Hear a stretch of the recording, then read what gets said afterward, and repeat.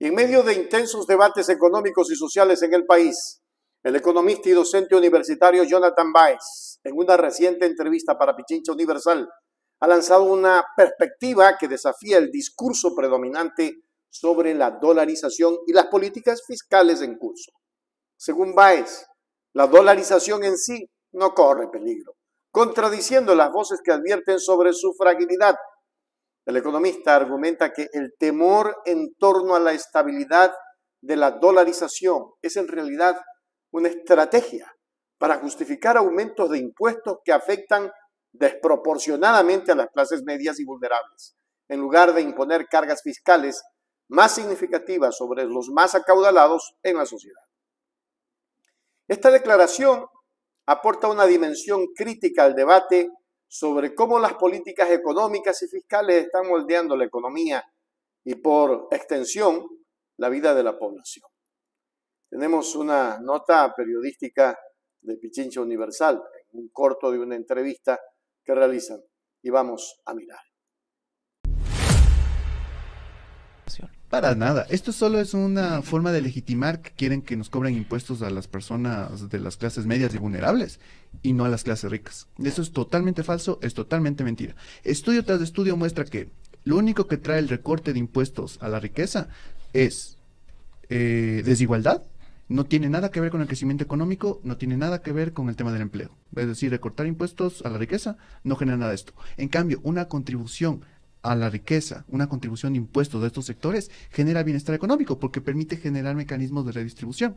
Entonces, eh, lo que dice el Banco Central, recordemos quién está en el Banco Central, es Guillermo Avellán, que era director del Instituto de Investigaciones, entre comillas de investigaciones, de la Fundación Ecuador Libre. Y viene desde el gobierno de Guillermo Lazo. y viene desde el gobierno, del gobierno de Lazo. Entonces, nosotros tenemos ahí a personas que no creen en el Estado, que lo único que creen es cómo pueden legitimar a estos actores en engañar a la gente para creer que si es que ellos están bien, el goteo hace que nosotros nos, nos ayude en algo. Pero en realidad el goteo no funciona, no cae y nosotros necesitamos grabar la riqueza. Este es el elemento fundamental. Y estos estudios que tiene eh, Asobanca y demás son muy cuestionables. No tienen una, eh, una investigación empírica detrás, no tienen una metodología detrás. Entonces, básicamente lo que tenemos ahí es solo un, lanzar un dato para beneficiarse. Yo quisiera traer también a colación, por ejemplo, cuando la mm, eh, entonces gerente del Banco Central del Ecuador, Verónica Artola, sacó todos unos estudios para demostrar cuánto el paro había afectado a la, sociedad, a la ciudadanía.